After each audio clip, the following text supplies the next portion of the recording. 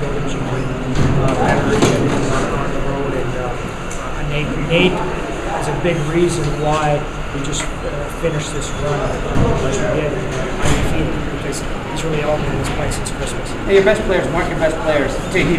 Yeah, and, five and, that, and that's what you got to stay. We talked about staying this. thing. They can get frustrated. You know, they want to be difference makers every night, every shift. And, you know, they, they made the play to get us going again. when We making four three, and then Nate to tie at four four. Uh, it was just a hard fought game. It really was. It was entertaining, and, uh, and fans, I'm sure, enjoyed it. Is it an appropriate way to finish this? Yeah, uh, I think you, you know, you figure that we're happy we got three or four points in the weekend. Our seniors going to lose to these guys in the building, this building, which is something that doesn't happen very often. And, um, we're able to uh, the tiebreaker which could come into play at the end.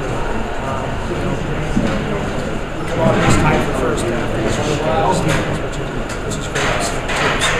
lot of pluses from our side. We made some mistakes.